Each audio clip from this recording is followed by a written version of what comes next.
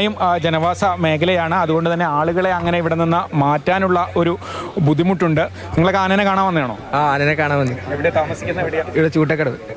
ഇതിന് മുന്നേ ടൗണിൽ ആന ഇറങ്ങിയത് കണ്ടിട്ടുണ്ടോ? ഇല്ല അറിയില്ല. ഞാൻ കണ്ണൂരാണ്. ഇപ്പോൾ ഇവിടെ താമസം മാറി വന്നേ. കണ്ണൂരാണ്. അപ്പോൾ കാട്ടാനെ കണ്ടിട്ടേ ഉണ്ടാവില്ല കണ്ടിട്ടില്ല താമസിക്കുന്നത് ഞാൻ വെള്ളമുണ്ട.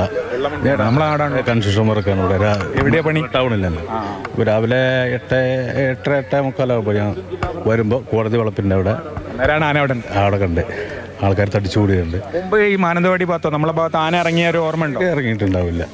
ഏകദേശം ഇവിടെ ഫോറസ്റ്റ് കുറച്ച് അകലെയാണല്ലോ. ഒരു ഒമ്പത് കിലോമീറ്റർ പത്ത് കിലോമീറ്റർ അകലെയാണ് ഫോറസ്റ്റ് ഉള്ളത്. ഇനിയും ആളുകൾ ഒരുപാട് ഇവിടെ വന്ന് നിൽക്കുന്നുണ്ട്. എവിടുന്നാണ് ആനനെ കാണാൻ വന്നാണോ അല്ല ഞാൻ മാനന്തവാടി യു പി സ്കൂളിൽ വർക്ക് ചെയ്തേ ടീച്ചറാ? കുട്ടികളെയൊക്കെ ആ, സുരക്ഷിതാക്കിയോ കുട്ടികളൊക്കെ ഒഴിവാക്കി. എച്ചമുണ്ടായിരുന്നു അപ്പൊ ഉണ്ടായിരുന്നു കുട്ടികളൊക്കെ പോയപ്പോ പിന്നെ ഒന്ന് ആനേനെ കണ്ടിട്ട് പോകാന്ന് വിചാരിച്ചിട്ട് എങ്ങനെ എങ്ങനെയാ അറിഞ്ഞ ടീച്ചർ രാവിലെ ഈ സംഭവം അറിഞ്ഞ നിങ്ങൾ എങ്ങനെയാ സ്കൂൾ എങ്ങനെയാ മാനേജ് ചെയ്ത കാര്യങ്ങളൊന്നും പറയാമോ? രാവിലെ എന്താ സംഭവിച്ചത്? വാർത്തയിലാണ് കാണുന്നത്. അപ്പാണ് അറിയുന്നത്. അപ്പൊ പിന്നെ വേഗം സ്കൂളിലേക്ക് എത്തി. കുട്ടികൾ വന്ന വണ്ടിയിൽ തന്നെ അപ്പം തന്നെ തിരിച്ചയച്ചു.